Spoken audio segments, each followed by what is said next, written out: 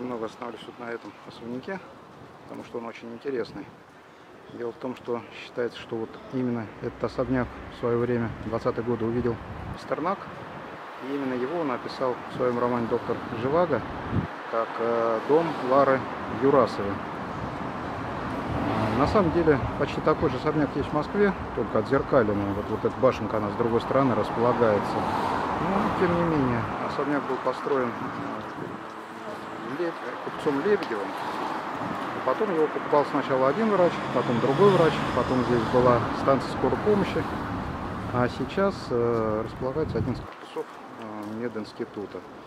Интересно, значит, что? Вот дом заканчивался вот на этом балконе, то есть вот он раньше был вот э, по ширине, вот не дальше этого балкона, вот видите, водосточная труба, она как раз край дома отмечает. А вот это вот достроили уже в советские времена, причем, чтобы сохранить стилистику, видите, там даже круглое э, окно достроили.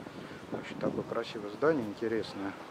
Вот. Оно связано с другим писателем тоже с Нобелевской премией. Если считать, что действительно Пастернак вдохновился вот э, этим красивым домом, то получается, что роман, получивший Нобелевскую премию, в какой-то мере имеет отношение к Рязани, вот этому конкретно дому.